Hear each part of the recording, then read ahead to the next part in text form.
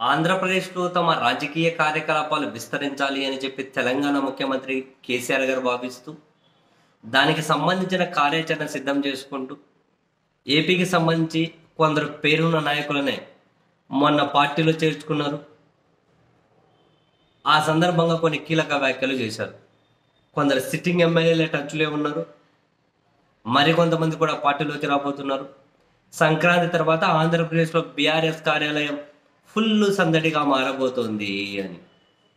సాక్షాత్తు తెలంగాణ ముఖ్యమంత్రి గారే కొందరు సిట్టింగ్ ఎమ్మెల్యే టచ్లో ఉన్నారు అని మరింత మంది రాబోతున్నారని చెప్పి వ్యాఖ్యలు చేసిన తర్వాత ఈ ఈ బీఆర్ఎస్ పార్టీ గురించి కూడా ఏపీలో ఒక రకమైన చర్చకైతే ఆస్కారం కలిగింది.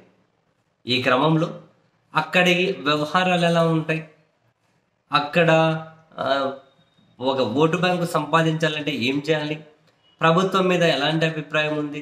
ఏ ఎజెండాతో ముందుకెళ్ళొచ్చు?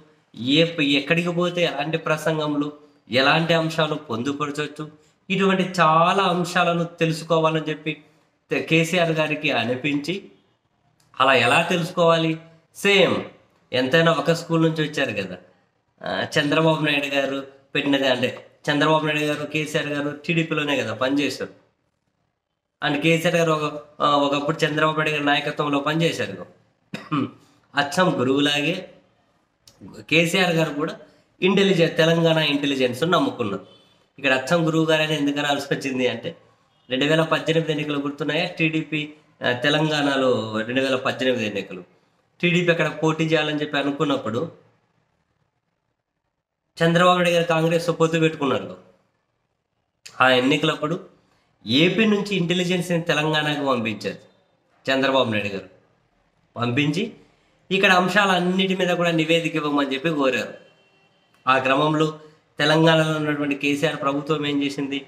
ఆ ఏపీ ఇంటెలిజెన్స్ని అడ్డుకోవడం కొందరి మీద కేసులు పెట్టడం ఎంత దుమారం రేగిందో అప్పుడు మనం చూసాంగా సేమ్ కేసీఆర్ గారు కూడా ఇప్పుడు తెలంగాణ నుండి ఇంటెలిజెన్స్ని ఆంధ్రప్రదేశ్కు పంపించినారు. దాదాపు పది ఇంటెలిజెన్స్ బృందాలు ఏమో తాజాగా ల్యాండ్ అయ్యాయట. ప్రభుత్వ పనితీరు ఎట్లా ఉంది? సంక్షేమం మీద ఎన్నికలు ఎదుర్కొంటే జనాలకు జనాలను కన్వెన్స్ చేయొచ్చా? అభివృద్ధి మీద ఎన్నుకుంటే కన్వెన్స్ చేయొచ్చా? ఆంధ్రప్రదేశ్ సంక్షేమ పథకాల మీద జనాలు ఏమనుకుంటున్నారు? ఏ వర్గాన్ని నమ్ముకుంటే ఓటు బ్యాంకు పదిలం చేసుకోవచ్చు? ఇటువంటి చాలా అంశాలను కనుక్కొని నివేదిక ఇవ్వమని చెప్పి తెలంగాణ ముఖ్యమంత్రి గారు పది తెలంగాణ ఇంటెలిజెన్స్ బృందాలను ఏపీకి పంపించినట్లుగా ఒక పక్కా సమాచారం అయితే ఉంది. మరి అప్పుడు తెలంగాణలో కేసీఆర్ గారి ప్రభుత్వం చంద్రబాబు నాయుడు పంపించిన చంద్రబాబు నాయుడు గారు పంపించిన ఇంటెలిజెన్స్ బృందాలను అడ్డుకున్నట్లు ప్రస్తుతం జగన్మోహన్ రెడ్డి గారి సర్కార్ కేసీఆర్ గారు పంపించినటువంటి ఇంటెలిజెన్స్ బృందాలను అడ్డుకుంటుందా? లేకుంటే ఆ బృందాలు వాళ్ళ పని వాళ్ళు చేసుకోబోయి తెలంగాణ ముఖ్యమంత్రి గారికి నివేదిక ఇస్తారా అన్న విషయం అయితే చూద్దాం.